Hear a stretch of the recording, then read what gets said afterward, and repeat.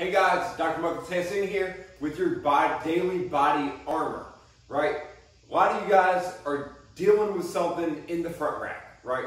Today you might be doing thrusters, you might be doing power cleans, um, you might be doing front squats, something that forces you to have a good front squat position.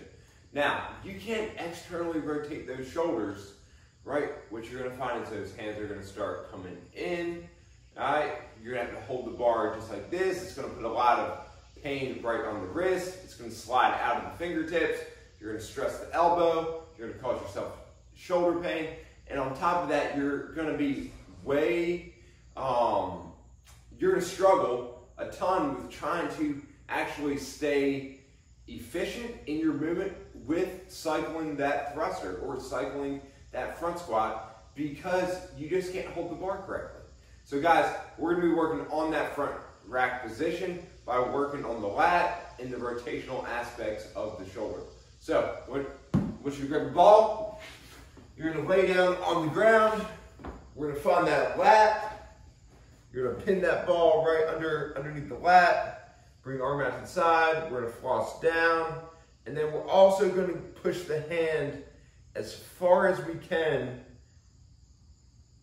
to the ground. So bring it down. Really focusing on the back portion more so in this today, guys. So pushing that thumb to the ground.